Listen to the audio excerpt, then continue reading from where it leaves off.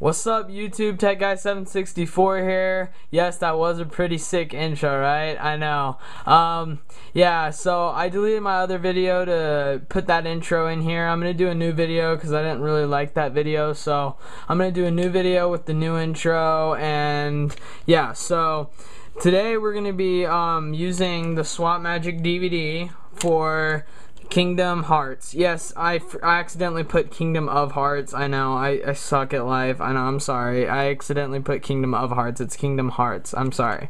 So don't leave a comment that says it's Kingdom Hearts. You know, I know it is. I'm sorry. I put of. I don't know why. It's just, I don't know. So anyways, um, yeah, so as you guys know, I got my Swap Magic DVD, DVD one right here and CD one right here. So this one's for like um, the SNES station and uh, the DVD one right here is for like the Kingdom Hearts. So um, yeah, so I'm going to put a link in the description for the burner to burn DVD ISOs, and I'll put a link in the description um, for uh, the website to get the ISOs, uh, the website to get the program to burn them, the website, oh, well, not the website, but I'll leave two um, uh, like things in there that tell you the disc you're going to need to burn separately for CD and DVD, um, and I'll give you the link um, for, yeah, so I think that's it. Uh, oh, and for the swap magic. That's right. Yeah. So, um, yeah, so we're going to be using the swap magic for Kingdom Hearts, okay? So let's get right into this, alright? So I'm just going to angle my um, camera at the PS2 because I always want you to see how I do this. As you can see, I do no hot swap whatsoever, alright? Um, so what you do is you get your P, uh, your uh, disc, your uh, right um, swap magic for the disc you're doing. So DVD, because I'm doing a PS2 game. So you put it in there, all right, and then you um, you start it up. All right.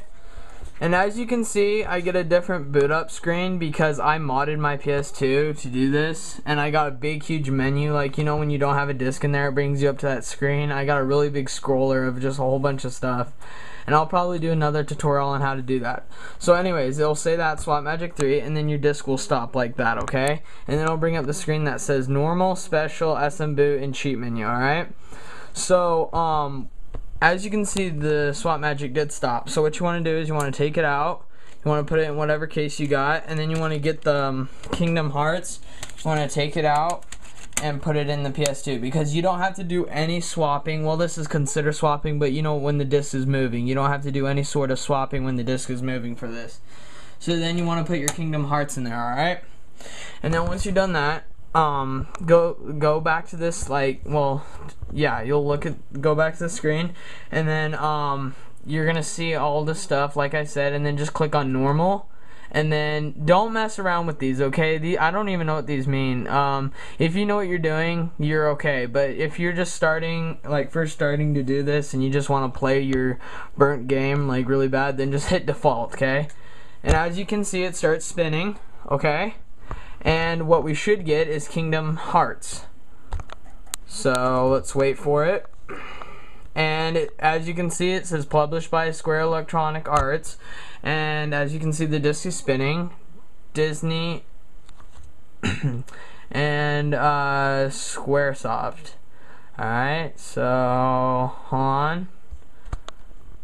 And then it just has all this stuff um, to start.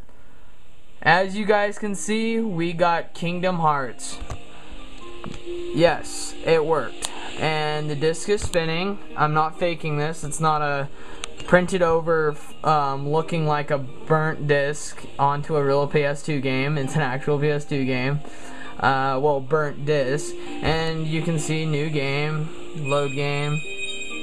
As you can see, the sound is not off at all. It's very, very, very, very set up right. This game is one of my favorite games on PS2. I really love it. It's just a nice, calm game. It's like really fun.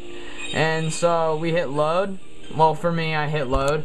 And then as you can see, it brings up this because I've already played this game and I have a load because I like it. I'm a level 2 because I haven't been playing it very much. So you click on that and it'll start up the game normally. And I'm on the beach right now. I'm just on that beach. So as you can hear, we have the music playing. Yeah. So. Yeah, see? So I got the wooden sword and I just I'll just go outside and just show you guys. It's nice, and the graphics are set really nice on this burn game. This is one of probably the best ISOs that people spent time on, because it's really nicely put together. I mean, it's not laggy at all. It's really nice.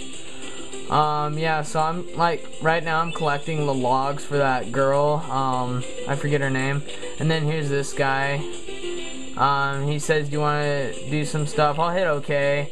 I'll just, what's it called? I'll just mess around and just Ready or not? Okay. So I'll just fight him real quick.